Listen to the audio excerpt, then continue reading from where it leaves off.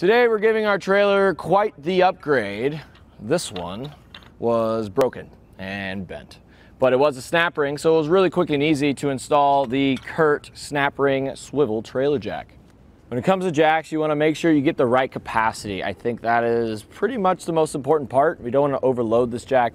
This one's gonna have a capacity of 2,000 pounds. So if we had 2,000 pounds loaded up on here, it's not gonna damage our jack. Also, from the ground to the bottom tube of our trailer, it's about 14 and a quarter inches. And we're gonna have a total lift with the Curt about 15 inches from there. So right now it's completely as low as it can possibly go. So we can go 15 inches up from here. So if you do have a jacked up truck, I think that's gonna be plenty to get it up onto your ball. With all of these retaining ring swivel jacks, you do have a little bit of play back and forth. So as you can see here on our old one, that's kind of where it bent in. And that's just because it has this big old round foot plate on it. So it's pretty much the same size all the way around.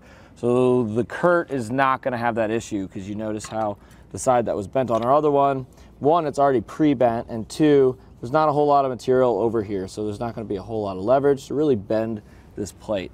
It is a pretty big plate compared to our replacement one that we took off.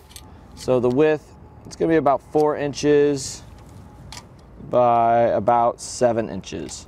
The inner tube and the foot plate is going to have a coating on it, which is going to help resist it against rust and corrosion.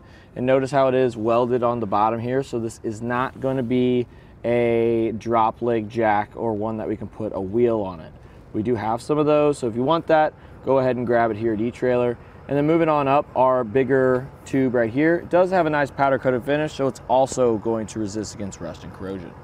The jack we took off of this trailer did not have a grease zerk, so the gears ended up failing on us. So with this grease zerk, we can grease it up depending on how often you use it. I use mine like every other weekend or so, and I grease it up about every six months to a year.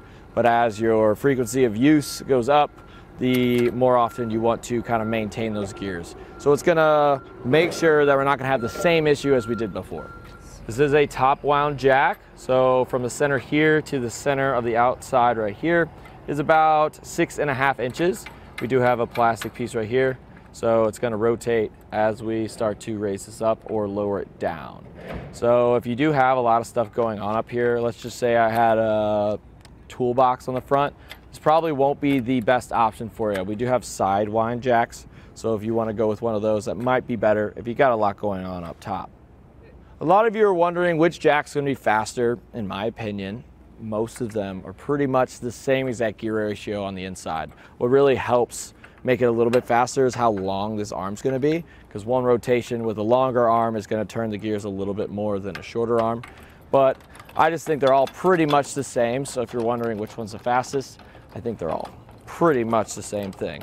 But whenever we're done hooking up to our trailer, we have this little pull pin, pull it like that, and then we can go ahead and rotate it. So let me get one more measurement for you. A lot of the times you put some breakaway switches or some junction boxes on the side of your trailer.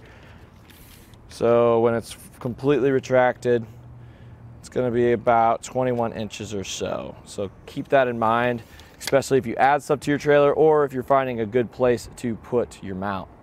Curt's a pretty premium brand, but this is one of the more entry level options when it comes to jacks If you want to go up in quality, you can go ahead and check out our website. We do have a lot of them, but the main thing with these is just make sure that you get the right capacity. We don't want to overload our jacks and end up in the same position as we started with.